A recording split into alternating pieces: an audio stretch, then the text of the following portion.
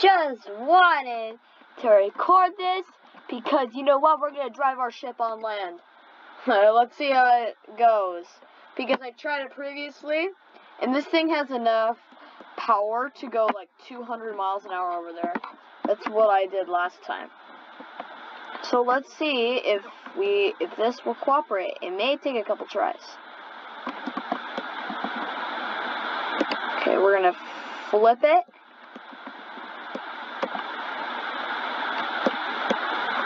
There we go. It's on land now.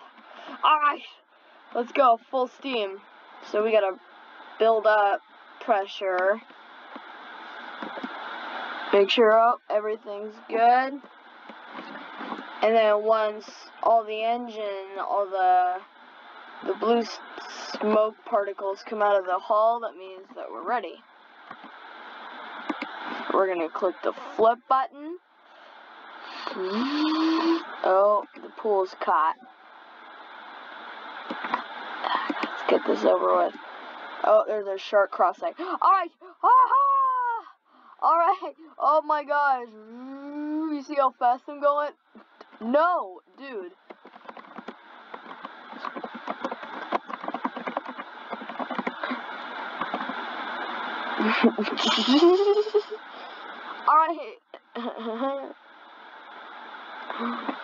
Oh, oh my gosh, we're sailing on the land.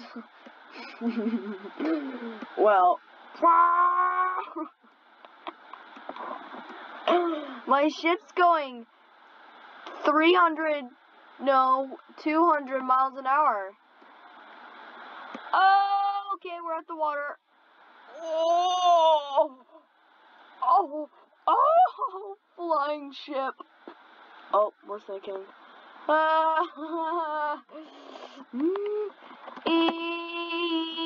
everybody get the lifeboat. Get on the lifeboat.